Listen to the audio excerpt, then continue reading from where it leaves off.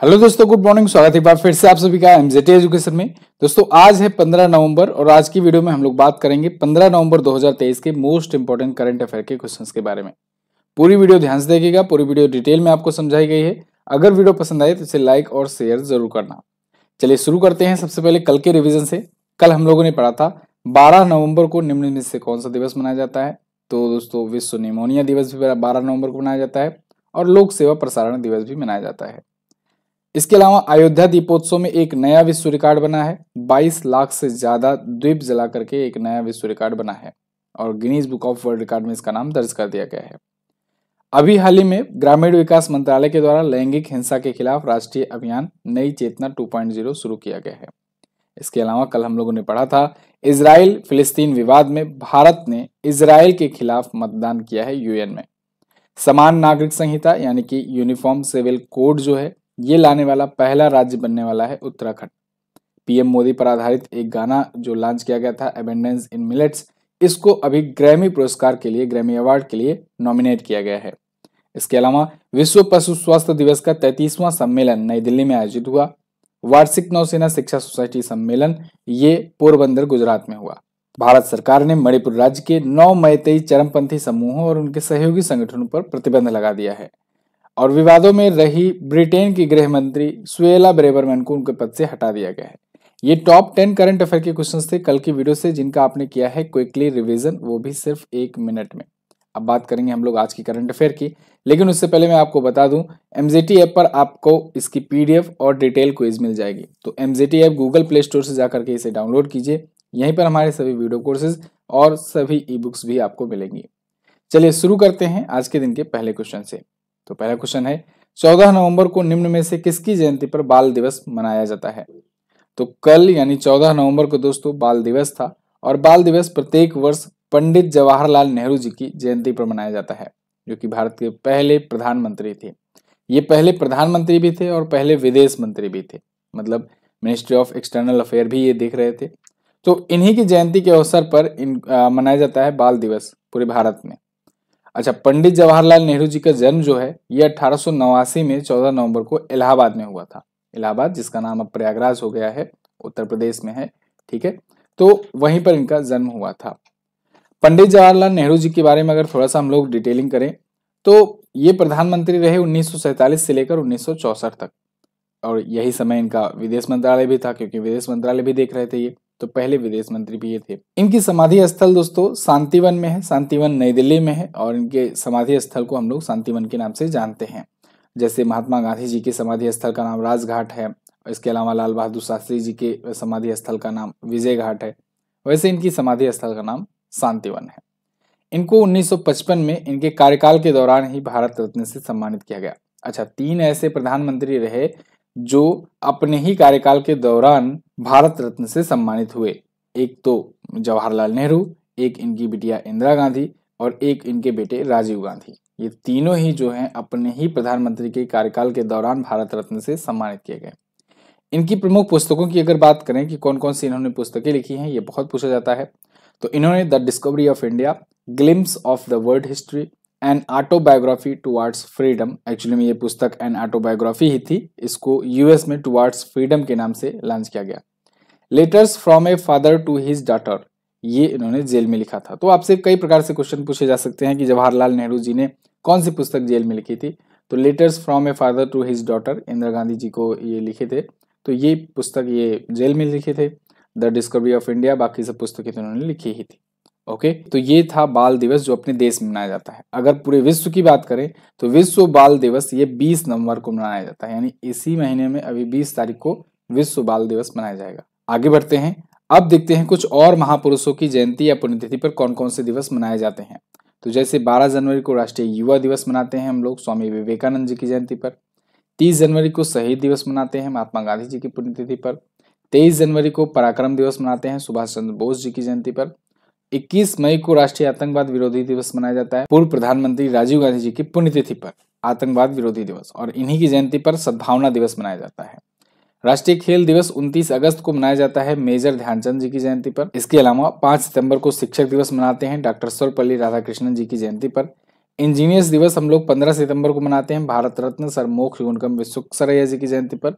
25 सितंबर को अंत्योदय दिवस पंडित दीनदयाल उपाध्याय जी की जयंती पर। और 2 अक्टूबर को अंतर्राष्ट्रीय अहिंसा दिवस महात्मा गांधी जी की जयंती पर। 15 अक्टूबर को विश्व छात्र दिवस, डॉक्टर एपीजे अब्दुल कलाम जी की जयंती पर। 31 अक्टूबर को राष्ट्रीय एकता दिवस मनाते हैं, सरदार वल्लभ भाई पटेल जी की जयंती पर, और 11 नवंबर को राष्ट्रीय शिक्षा दिवस मनाया जाता है, मौलाना अबुल कलाम आज़ाद जी की जयंती चौदह नवंबर को बाल दिवस 25 दिसंबर को सुशासन दिवस, यानी गुड गवर्नेंस डे, पूर्व प्रधानमंत्री अटल बिहारी वाजपेयी जी की जयंती पर। क्लियर? अगला हाल ही में किस देश ने 14 घंटों में 800 भूकंप के बाद आपातकाल की घोषणा की? तो दोस्तों, अभी आइसलैंड में ना 14 घंटों में 800 भूकंप और उसके बाद अगर बात करें टोटल 24 घंटों में हज़ार से ज़्यादा भूकंप आ गए। बताया जा रहा है 1400 से ज़्यादा भूकंप के झटके झटके यहाँ पर देखने को मिले। आइसलैंड एक यूरोपियन कंट्री है, अभी मैं दिखाऊँगा वर्ल्ड मैप में भी आपको। यहाँ पर ना 24 घंटों में आप सोचो 1400 बार भूकंप के झटके महसूस किए गए। ऐसा कब होता है? ऐसा तब होता है जब किसी एक पार्टिकुलर एरिया में बहुत बड़ा ज्वालामुखी विस्फोट होने वाला होता है। भूकंप मतलब कि ज़मीन का कांपना। और वो इसलिए कांपती है क्योंकि अंदर की जो टेक्टोनिक प्लेट्स हैं, वो आपस में टकराते हैं। तो यहाँ पर जब इतनी बार टकराई जा रहे हैं प्लेट्स तो इसका मतलब वो प्लेट से उद्गार भी हो सकता है। वैसे ज्वालामुखी, भूकंप ये सब क्या है और भूकंप कैसे आता है, इसके पीछे का कारण क्या है, इस पर मैंने अभी रिसेंटली एक वीडियो दी थी, जब इंडिया में भूकंप आया था अभी। तो आप उसे देख सकते हैं। पूरा डिटेल में उसमें बताया गया है, समझाया गया है।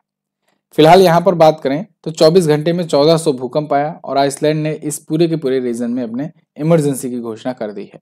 यहाँ पर एक फ्रगाडल्स फाल ज्वालामुखी है, उसके पास हज़ारों झटके दर्ज किए गए हैं। तो ऐसा कहा जा रहा है कि इसमें फिर से इरप्शन हो सकता है इस वेलकनो में। आइसलैंडिक मौसम कार्यालय के अनुसार बहुत ही जल्दी ये होगा विस्फोट। फ़िलहाल आइसलैंड दुनिया के सबसे सक्रिय भूकंपीय क्षेत्रों में से एक आता है मतलब कि सबसे ज़्यादा यहाँ पर भूकंप भी आते हैं और सबसे ज़्यादा यहाँ पर वेलकेनो भी हैं, यानी ज्वालामुखियाँ भी हैं। तीस से ज़्यादा एक्टिव वल्केनो है, जो कि यूरोप में सबसे ज़्यादा है। तो अगर पूछा जाए यूरोप में सबसे ज़्यादा ज्वालामुखी कहाँ पर है तो आप बताओगे आइसलैंड में। आइसलैंड अगर आप मैप में देखोगे तो ये देखो, ये रहा यूरोप का पूरा रीजन, और इसी पे थोड़ा सा एक द्वीप है, आइसलैंड। काफ़ी बड़ा है, और लेकिन बहुत ही शांत, बहुत ही पीसफुल ये है। आइसलैंड। आपको पता होगा, जब भी विश्व शांति सूचकांक आता है तो उसमें टॉप पर आइसलैंड ही रहता है। तो आइसलैंड जो है, यहाँ पर पड़ता है, यहाँ पर ग्रीनलैंड आपको मिलेगा, यहाँ पर आइसलैंड मिलेगा। इधर आपको ये ब्रिटिश आइसल्स मिल जाएगा, नॉर्वे, स्वीडन वगैरह, ठीक है? तो आइसलैंड यहाँ पर है, वर्ल्ड मैप में। आगे बढ़ते हैं। हाल ही में किस मंत्रालय द्वारा Aaina dashboard for cities portal launch किया गया? तो अभी हाल ही में आवास और शहरी मामलों के मंत्रालय के द्वारा आईना डैशबोर्ड फॉर सिटीज़ नाम से पोर्टल लॉन्च किया गया है।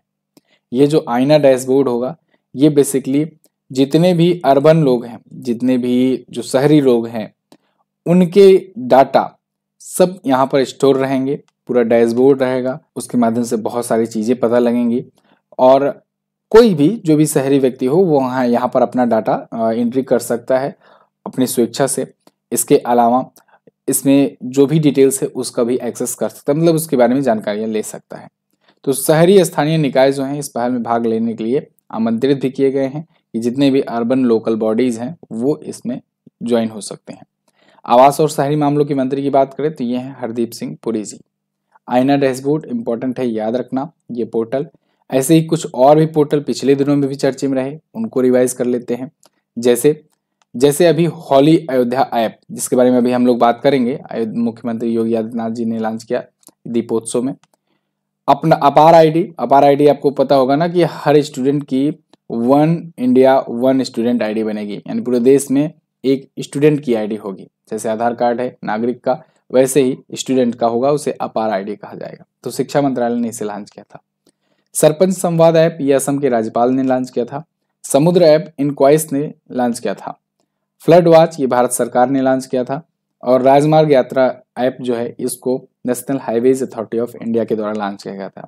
वहीं मृत वृक्ष आंदोलन ऐप असम के मुख्यमंत्री ने लॉन्च किया था। मोबाइल दोस्त ऐप जम्मू कश्मीर में लॉन्च किया गया और रिपोर्ट फ़िश डिसीज केंद्रीय मंत्री परसोत्तम रूपाला ने लॉन्च किया। पीसीटीएस ऐप राजस्थान सरकार की है और यूपीएजी पोर्टल कृषि मंत्रालय द्वारा लॉन्च किया गया।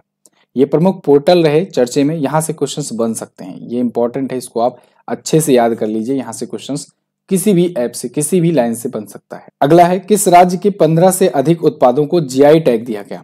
तो दोस्तों, अभी उत्तराखंड के 15 से ज़्यादा प्रोडक्ट्स को एक साथ जीआई टैग दिया गया है। अब ये बहुत बड़ी बात है। उन सभी 15 के नाम तो आप याद कर नहीं पाओगे। याद करना भी नहीं है। बस मोटा मोटा एक बार नज़र में रखे रहो। हो सकता है अगर पूछा जाए क्लिक कर जाए तो आप बता ले जाओ। तो 15 से अधिक उत्पाद यानी प्रोडक्ट्स को जीआई टैग दिया गया है जियोग्राफिकल इंडिकेशन रजिस्ट्री के द्वारा। इसमें चाय से लेकर कपड़ा, दाल, सभी प्रकार के उत्पाद हैं लगभग लगभग। जैसे अगर बात करें तो बेरीनाग चाय है, बिच्छू बूटी फैब्रिक्स है, उत्तराखंड मंडुआ है, झंगोरा, गहत, उत्तराखंड लाल चावल, उत्तराखंड काला भट्ट, माल्टा फल, उपवास के दिनों के लिए चौलाई, अनाज, इसके अलावा बुरांस का रस, पहाड़ी तूर का दाल, बहुत सारे ऐसे प्रोडक्ट्स हैं। ठीक है तो टोटल पंद्रह से अधिक उत्पाद को ये जीआई टैग दिया गया है। जीआई टैग आया है। जीआई टैग मतलब जियोग्राफिकल इंडिकेशन टैग ये टैग दोस्तों, शुरुआत कब किया गया था? ये 1999 में इसके लिए एक बिल लाया गया। और वो बिल जो है ना 2003 में जाकर के एक्ट बना था जियोग्राफिकल इंडिकेशन के लिए। और 2004 में दार्जिलिंग की चाय को सबसे पहली बार जीआई टैग दिया गया था। जीआई टैग यानी जियोग्राफिकल इंडिकेशन टैग अगर किसी प्रोडक्ट की ख्याति बढ़ानी हो, उसकी ब्रांडिंग करनी हो ग्लोबल मार्केट में लाना हो, या फिर उसकी ब्लैक मार्केटिंग रोकनी हो, तब उसके लिए दिया जाता है जीआई टैग अब किसी प्रोडक्ट को जीआई टैग देने से एक और फ़ायदा होता है कि उसके जो प्रोड्यूसर्स हैं, यानी कि जो उनकी खेती वगैरह करते हैं, उनकी इनकम भी बढ़ जाती है। क्यों? क्योंकि उसकी मार्केटिंग अच्छी खासी हो जाती है तो उनका व्यापार बढ़ जाता है। साथ ही साथ, कहाँ का कौन सा चीज़, कौन सा प्रोडक्ट स्पेशलाइज्ड है, वो भी और ज़्यादा पॉपुलर हो जाता है। आगे बढ़ते हैं। पिछले दिनों में भी कुछ और जीआई टैग दिए गए थे, उनको रिकॉल कर लेंगे। याक चुरुपी ये अरुणाचल प्रदेश का है, इसको जीआई टैग दिया गया। जम्मू कश्मीर के अभी पश्मीना क्राफ्ट, भद्रवार राजमा रामबन सुलाई शहद, राजौरी चिकरी वुड क्राफ्ट और मुस्क बुच्ची चावल को दिया गया। इसके अलावा उत्तर प्रदेश के एटा ज़िले के जलेसर धातु शिल्प को दिया गया। गोवा के गोवा बेबिंका और मनकुराड आम को दिया गया जीआई टैग राजस्थान के बीकानेर काशितकारी शिल्प, बीकानेर उस्ता कला शिल्प और उदयपुर कोफ्तकारी मेडल क्राफ्ट को दिया गया। वहीं ओडिशा के काला जीरा चावल और रायगढ़ा साल को दिया गया जीआई टैग असम के चोकुआ चावल को दिया गया, ये इंपॉर्टेंट है। तो ये कुछ और प्रोडक्ट हैं जिनके अभी रिसेंटली दिए गए हैं जीआई टैग जीआई टैग पर मैंने वैसे तो कई वीडियोस दी हुई हैं। अभी रिसेंट में एक और वीडियो में दूँगा जिसमें पिछले दिनों में हाल फ़िलहाल में जो चर्चा में रहे थे, उन पर बात की जाएगी। अगला क्वेश्चन एशिया प्रशांत एयरलाइंस ने पाँच परसेंट हरित ईंधन की खपत के लिए कब तक का लक्ष्य रखा है? तो अभी एशिया प्रशांत एयरलाइंस एक एयरलाइंस है कंपनी है उसने 2030 तक का अपना लक्ष्य बनाया है कि वो पाँच परसेंट ग्रीन एनर्जी का ग्रीन फ्यूल का यूज़ करेगी। पाँच परसेंट तक का अपने फ्यूल में ग्रीन फ्यूल का यूज़ करना वो भी किसी एयरलाइंस के द्वारा ये बहुत बड़ी बात होती है। क्योंकि एयरलाइंस वगैरह में ग्रीन फ्यूल का ग्रीन एनर्जी का आ, मतलब अभी अभी तो ऐसी टेक्नोलॉजी नहीं है कि कोई बहुत ज़्यादा परसेंटेज में यूज़ कर सके। तो यहाँ पर एशिया पैसिफिक एयरलाइंस ने यहाँ पर टारगेट रखा है एम रखा है कि पाँच परसेंट तक का ग्रीन फ्यूल वो यूज़ करने लगेंगे 2030 तक। और आगे चल करके ये परसेंटेज और भी बढ़ाया जाएगा, क्योंकि पूरी दुनिया ग्रीन एनर्जी ग्रीन फ्यूल की तरफ़ बढ़ रही है। तो ऐसे में इन्होंने भी अपना एक टारगेट रखा है। इस पूरे एयरलाइन का पूरा नाम अगर बात करें तो इसे कहते हैं आपा। आपा यानी एशिया पैसिफिक एयरलाइन एसोसिएशन तो इसने कहा है 2030 तक ये भी पाँच परसेंट तक का अस्थायी विमानन ईंधन, यानी कि सस्टेनेबल एयरलाइन फ्यूल खपत को। वैसे अगर ग्लोबल कार्बन एमिशन में विमानन का योगदान बात किया जाए तो तीन परसेंट का होता है। यानी ग्लोबली जितना भी कार्बन प्रोड्यूस होता है, उनमें से तीन परसेंट तो विमान जो उड़ते हैं, जो एयरप्लेन उड़ते हैं, उन्हीं की वजह से होता है। 2016 में अंतर्राष्ट्रीय नागरिक उड्डयन संगठन ने 2019 से कार्बन तथस्थ विकास का लक्ष्य रखा था। 2050 तक नेट ज़ीरो कार्बन उत्सर्जन का भी इन्होंने लक्ष्य निर्धारित किया था कि शुद्ध शून्य उत्सर्जन हो 2050 तक। सभी देश इसमें लगे हुए हैं, सब अपना अपना टारगेट भी डिसाइड कर रहे हैं। जैसे अगर मैं इंडिया की बात करूँ तो इंडिया ने 2070 तक का अपना लक्ष्य रखा है कि वो ज़ीरो कार्बन एमिशन वाला देश बन जाएगा। इसके अलावा 2050 तक इंडिया ने फोर्सफुली कहा भी है कि जितने भी डेवलपिंग नेशन हैं, वो 2050 तक अपना टारगेट बनाएँ कि वो इससे पहले पहले ज़ीरो कार्बन एमिशन वाले देश बन जाए। तो ये भी अभी न्यूज़ आई थी, कुछ दिन पहले मैंने कवर कराया था तो आपको बताया था। अच्छा एक और ज़रूरी सूचना, देखो, दिवाली डिस्काउंट जो चल रहा था, काफ़ी दिनों तक चला, आज उसका अंतिम दिन है लास्ट डे है आज। तो आज अगर आप ऑफ़र का फ़ायदा उठाना चाहते हो तो इसका फ़ायदा उठा सकते हो। जितने भी वीडियो कोर्सेज हैं अपने, उन वीडियो कोर्सेज पर आपको मिल रहा है सेवेंटी परसेंट का डिस्काउंट सेवेंटी परसेंट का डिस्काउंट और इसके लिए कूपन कोड यूज़ करना है आपको Diwali seventy D I W A L I seven zero seventy और जितने भी अपनी ई बुक्स आती हैं, हर एक महीने की हो या फिर कोई कॉम्बो ई बुक्स हो, उस पर आपको फिफ्टी परसेंट का डिस्काउंट मिल रहा है और नाम मात्र की फ़ीस पर आप उसे भी ले सकते हो। उसके लिए कूपन कोड यूज़ करना है आपको दिवाली फिफ्टी दिवाली फिफ्टी तो इससे आपको सत्तर परसेंट का डिस्काउंट कोर्सेज में मिलेगा और फिफ्टी परसेंट का डिस्काउंट ई बुक्स पर मिलेगा। आज लास्ट डे है, पंद्रह नवंबर को। तो आप इसको, इसका फ़ायदा उठाइए। ये आपको कहाँ पर मिलेगा? एमजेटी ऐप पर। गूगल प्ले स्टोर पर जाइए एमजेटी ऐप आप डाउनलोड कीजिए, वहाँ से वीडियो कोर्स सेक्शन में जाकर वीडियो कोर्स ले सकते हैं ई बुक सेक्शन में जाकर ई बुक ले सकते हैं। कोई भी अगर प्रॉब्लम हो डाउट आए तो आप इस नंबर पर व्हाट्सएप कर सकते हैं। वैसे मैं आपको रिकमेंड करूँगा इस नए बैच की जीएस सफलता 3.0 नया बैच आया हुआ है, ज़बरदस्त तरीके से चल भी रहा है, बहुत लोगों को पसंद भी आ रहा है। आप इसको ज्वाइन कर सकते हो। अभी ज़्यादा दिन नहीं हुए हैं इसको शुरू हुए, इसमें पंद्रह महीनों की वैलिडिटी आपको मिलेगी। छह महीने में ये कोर्स कंप्लीट हो जाएगा, पंद्रह महीनों तक आप एक्सेस कर पाओगे, इसमें पंद्रह महीनों तक आपको ई बुक भी दी जा रही होगी। और सभी एग्ज़ाम को, सभी वनडे एग्ज़ाम्स को ये कवर करेगा। एडमिशन ओपन है, इसको आप ज़रूर ज्वाइन कीजिए। हाल ही में किसने एमएसएमई आर्थिक गतिविधि सूचकांक संपूर्ण लॉन्च किया? तो अभी हाल ही में दोस्तों, सिडबी ने। सिडबी यानी कि small industry development bank of India. इसने और जोकाटा ने, इन दोनों ने मिल करके एक संपूर्ण नाम से प्लेटफॉर्म पेश किया है, जो कि एमएसएमई आर्थिक गतिविधि सूचकांक है। एमएसएमई बोले तो micro small and medium enterprises तो जो छोटे, लघु और स्मॉल उद्योग होते हैं, उनकी आर्थिक गतिविधियाँ, जो इकोनॉमिक एक्टिविटी होती है, उसके लिए एक इंडेक्स है ये, संपूर्ण नाम से। तो इसको इन दोनों ने मिल करके अभी लॉन्च किया हुआ है। यहाँ पर भी आप देख पाओगे बिज़नेस स्टैंडर्ड का आर्टिकल है। SIDBI launches Sampoorna MSME economic activity index with Chokata तो जोकाटा के साथ मिल करके सिडबी ने लॉन्च किया हुआ है। ठीक है जी? तो अब इससे क्या होगा? इससे जो भी फाइनेंशियल इंस्टीट्यूट्स हैं, उनके लिए जो टेक्नोलॉजी का और डिजिटल का जो माहौल है तैयार किया जाएगा, जो परिवेश तैयार किया जाएगा, वो मंच ये लोग तैयार करेंगे। एमएसएमई आर्थिक गतिविधि सूचकांक। तो नाम होगा इसका संपूर्ण। ओके? सिडबी के अगर चेयरमैन और प्रबंध निदेशक यानी कि सी एम डी की बात करें तो वो है सुब्रमण्यम शिव सुब्रमण्यम रमन। और अगर जोकाटा के एमडी और सीईओ की बात करें तो प्रशांत मुड्डू हैं। अच्छा सिडबी की स्थापना हुई थी दोस्तों 1990 में और अपने यही लखनऊ में इसका हेडक्वार्टर है। क्लियर है? हाल ही में मुख्यमंत्री योगी आदित्यनाथ जी ने दीपोत्सव में घरों से दिए जलाने के लिए कौन सा ऐप लॉन्च किया? तो यूपी के सीएम योगी आदित्यनाथ जी ने अभी हाल ही में दीपोत्सव में घर से भी ऑनलाइन दीप जलाने के लिए एक ऐप लॉन्च किया है, जिसका नाम है होली अयोध्या ऐप होली की स्पेलिंग ये रहेगी। तो होली अयोध्या ऐप जो है, इसे लॉन्च किया गया है। होली मतलब कि पवित्र वाला। होली यहाँ पर आप होली त्योहार वाला मत समझना। होली मतलब ये पवित्र। तो पवित्र अयोध्या ऐप कह सकते हो या कहोगी होली अयोध्या ऐप। नाम एक्चुअली में नाम तो नाम ही होता है। तो इसे अभी लॉन्च किया गया है। आपको तो पता होगा, कल की वीडियो में भी मैंने कवर कराया था कि एक नया वर्ल्ड रिकॉर्ड बना है 22 लाख से ज़्यादा द्वीप जला करके अयोध्या में। Guinness book of world record में ये नाम शामिल हो गया है। ये रिकॉर्ड सिर्फ़ और सिर्फ़ वहाँ पर द्वीप जलाने से ही जा करके जलाने से नहीं बना। बहुत सारे लोग ऑनलाइन भी द्वीप जलाए और ऑनलाइन इसी ऐप के थ्रू भी द्वीप जलाए। इसका प्रोसेस क्या था? क्या यहीं पर अपने मोबाइल में जला लेना था? नहीं। इसमें क्या था कि लोग अपने अपने स्वेच्छा अनुसार अपने अपनी क्षमता अनुसार द्वीप दान करते हैं। जैसे एक दिए के लिए एक सौ एक रुपए खर्च किए, ग्यारह दिए जलाने हैं जिनको, वो दो सौ इक्यावन रुपए दिए, इक्कीस दिए द्वीप के लिए पाँच सौ एक, इक्यावन के लिए ग्यारह सौ रुपए। तो ऐसे ऐसे ऑनलाइन जो है द्वीप जलाने के लिए लोग दान किए।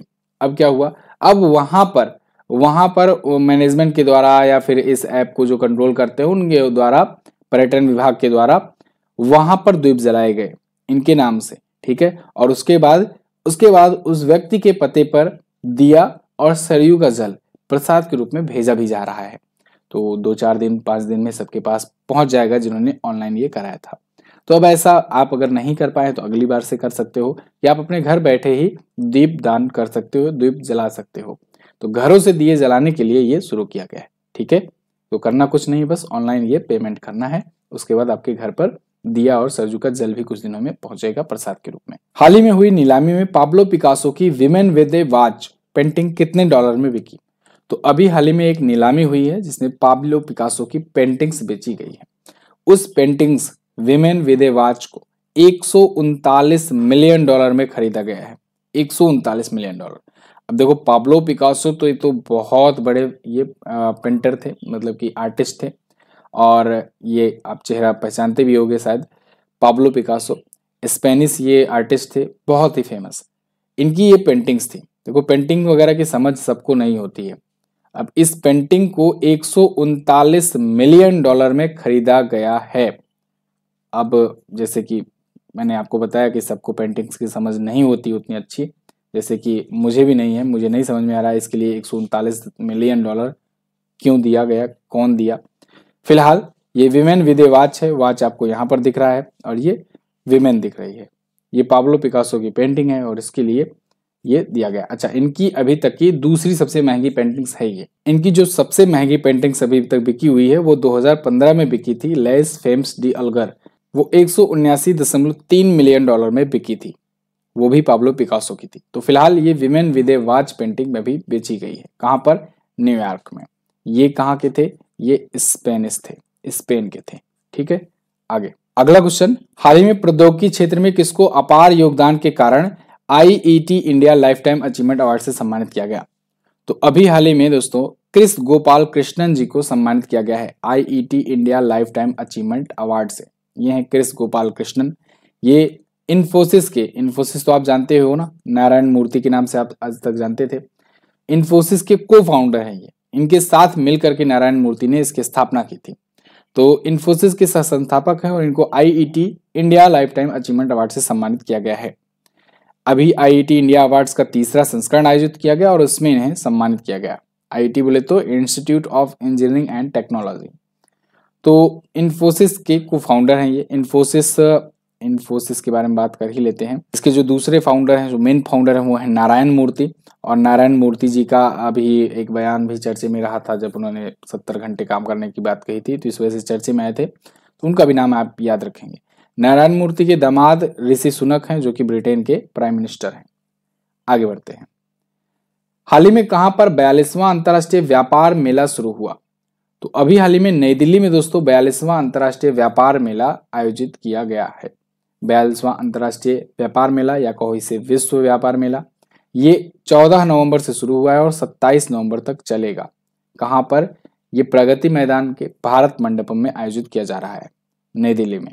अच्छा एक चीज़ और, इस बार पार्टनर स्टेट और फोकस स्टेट का नाम याद रखना। पार्टनर स्टेट है बिहार और केरला फोकस स्टेट में दिल्ली, जम्मू कश्मीर, झारखंड, महाराष्ट्र और उत्तर प्रदेश को शामिल किया गया है।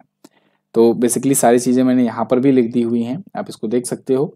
तो इंडिया इंटरनेशनल ट्रेड फेयर यानी आईआईटीएफ के द्वारा आयोजित किया जा रहा है। विश्व व्यापार मेला या कहें अंतरराष्ट्रीय व्यापार मेला, बयालीसवां इसका संस्करण है। तेरह देशों के साथ 25 राज्य समेत देश विदेश के पैंतीस सौ से ज़्यादा इसमें पार्टिसिपेंट हिस्सा लेंगे। तो ये तो थे दोस्तों आज के दिन के टॉप टेन करंट अफेयर के क्वेश्चंस आई होप आपको वीडियो पसंद आई होगी इन्फॉर्मेटिव लगी होगी। अगर आप किसी भी गवर्नमेंट एग्ज़ाम की तैयारी कर रहे हो तो ये सारे के सारे क्वेश्चन इंपॉर्टेंट है आपके आने वाले सभी एग्ज़ाम्स के लिए। तो आप लोग आई होप दिवाली की छुट्टियाँ वगैरह मना करके वापस से आ गए होंगे। एक बार फिर से जुट जाइए उसी जोश और जुनून के साथ दोबारा से, क्योंकि एग्ज़ाम्स वगैरह आपके बहुत ज़्यादा करीब आ चुके हैं। और अगर जिनको जिनको कोई भी कोर्स या ई बुक लेना है, वो इस दिवाली धमाका ऑफ़र का फ़ायदा उठाइए एम जे टी ऐप पर जा करके। गूगल प्ले स्टोर से M J T app download कीजिए। हमारे ई बुक्स भी आती हैं, आप ई बुक्स भी ले सकते हैं। करंट अफेयर की ई बुक है और ये इसमें हिंदी और इंग्लिश दोनों लैंग्वेज में अलग अलग आती है तो आप किसी भी लैंग्वेज में जाकर के इसे ले सकते हैं। पिछले तीन साल की कोई से भी महीने की ई बुक ले सकते हो। कॉम्बो ई बुक्स भी अवेलेबल हैं, जैसे जनवरी से सितंबर की अभी आई थी तो उसको भी आप ले सकते हो नौ महीने की ई बुक चलिए तो व्हाट्सएप चैनल को भी ज्वाइन कीजिए लिंक डिस्क्रिप्शन में है टेलीग्राम ग्रुप को भी ज्वाइन कीजिए पीडीएफ वगैरह के लिए। लास्ट डे के क्वेश्चंस का आंसर देख लेते हैं। कल हम लोगों ने पूछा था कि स्वतंत्र भारत के पहले शिक्षा मंत्री कौन थे? तो वो थे मौलाना अबुल कलाम आज़ाद। दूसरा क्वेश्चन था किन दो देशों के बीच सैन्य अभ्यास संप्रीत का आयोजन किया जाता है? तो एक संप्रीत जो होता है, भारत और बांग्लादेश के बीच में होता है। तो ये ऑप्शन यहाँ पर आपका करेक्ट रहेगा। और आज आपको क्या बताना है? आज आपके आपके लिए क्वेश्चन है, प्रसिद्ध दीपोत्सव जो है, जो अयोध्या दीपोत्सव है, उसे कब शुरू किया गया था? यानी उसकी शुरुआत कब हुई थी? दूसरा क्वेश्चन ब्रिटेन के प्रधानमंत्री ऋषि सुनक ने किससे अपना नया गृह मंत्री बनाया है? और इन्होंने एक विदेश मंत्री भी बनाया है तो आप विदेश मंत्री का भी नाम बता दीजिएगा। चलिए बहुत बहुत धन्यवाद यहाँ तक वीडियो देखने के लिए। आई होप आपको वीडियो पसंद आई होगी। एमजेटी ऐप इंस्टॉल कीजिए, वहीं पर आपको सारी चीज़ें मिलेंगी। मैं मिलूँगा आपको कल की वीडियो में, तब तो तक नमस्कार, जय हिंद, वंदे मातरम।